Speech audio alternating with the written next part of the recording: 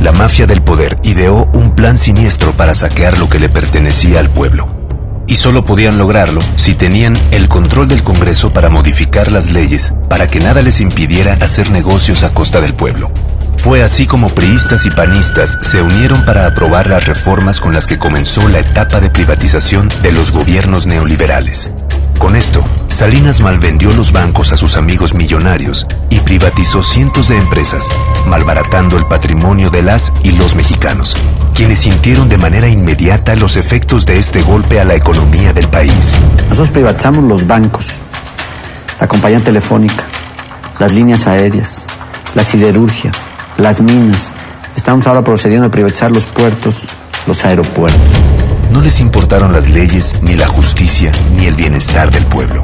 Solo pensaban en su riqueza y en fundar un régimen neoliberal que duraría décadas. Sí, hubieron prácticas indebidas de algunos que participaron en la privatización.